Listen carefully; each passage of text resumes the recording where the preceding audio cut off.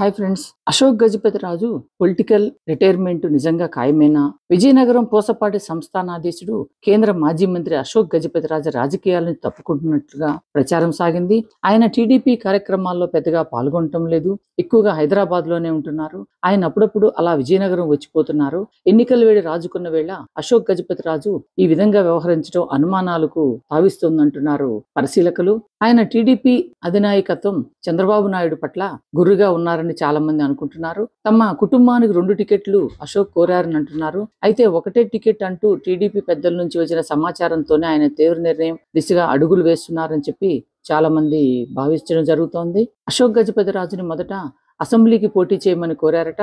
ఇప్పుడు విజయనగరం ఎంపీ సీటుకు పోటీ చేయాలని అంటున్నారు.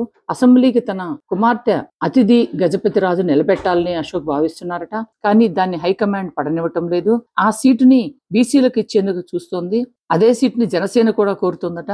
ఇవన్నీ చూస్తుంటే మెల్లగా అశోక్ కుటుంబం నుంచి విజయనగరం సీట్ను తీసుకునే వ్యూహం కనిపిస్తుందని చెప్పి అంటున్నారు. అశోక్ ఈ పరిణామాల పట్ల కలత చెందారని అందుకే పొలిటికల్ రిటైర్మెంట్ని త్వరలో అనౌన్స్ చేస్తారని అంటున్నారు. ఈ విషయం తర్వాత కూడా టీడీపీ హైకమాండ్ ఏమీ కంగారు పడకుండా వేరే బీసీ అభ్యర్థిని మాజీ ఎమ్మెల్యేని తెచ్చి విజయనగరం ఎంపీ సీటుకు పోటీ చేయించాలని చూస్తోందట. అశోక్ వర్గం దీని మీద మండిపడుతోంది. విజయనగరం జిల్లా రాజకీయాల్లో మగుటం లేని మహారాజుగా వెలిగిన అశోక్ గజపతిరాజు విషయంలో హైకమాండ్ తీరు బాగలేదని అంటున్నారు. అశోక్ రాజకీయాలకు దూరం అయితే టీడీపీకి జిల్లాలో చాలా ఇబ్బందికరమే అని చెప్పి అనుకుంటున్నారు. అశోక్ గజపతిరాజు గారి రాజకీయ ప్రయాణం ఎలా ఉంటుందో మరి చూడాలి. Thank you so much friend. బేరన్ టీవీని అందరూ సబ్స్క్రైబ్ చేసుకోండి. Like share subscribe. బేరన్